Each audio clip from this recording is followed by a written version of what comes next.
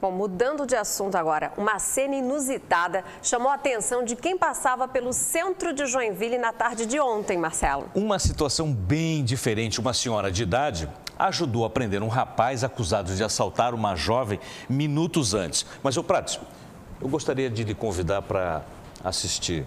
Roda BT. Vamos lá. Nas imagens gravadas pelo celular de curiosos, esta senhora aparece segurando o suspeito e batendo nele com a própria sapatilha. Repare que em volta há um segurança, mas é a vovó que deteve o bandido e o homem teria assaltado uma jovem de 20 anos quando ela saía do trabalho e lhe roubado a bolsa para comprar drogas. A senhorinha justiceira conseguiu capturar e segurar o bandido e só o largou quando a guarda municipal chegou ao local. Os pertences da vítima foram recuperados. O vídeo foi postado hoje na internet e já foi assistido por mais de 21 mil pessoas.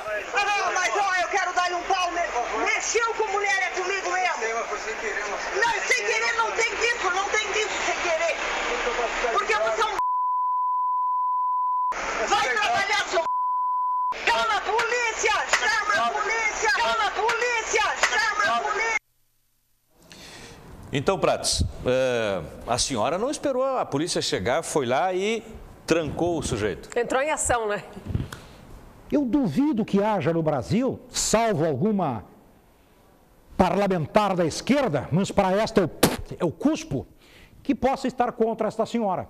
Porque é muito fácil ser bacana, direitos humanos, num gabinete ar-condicionado, tomando água mineral que eu pago, que você paga. Agora, quem anda na rua sendo assaltado, esta senhora está errada? Agora imagine o seguinte: uma comentarista, jovem, bonita, inteligente, ousada, doutora, fazendo um comentário em rede nacional a favor desta senhora. Sabe o que é que fariam com ela? Sabe o que é que os covardes fariam com ela? Amordaçariam ela. Esta senhora tem razão. Esta é do meu galpão. É assim que se faz. E é assim que o povo tem que fazer. Vagabundo tem que apanhar.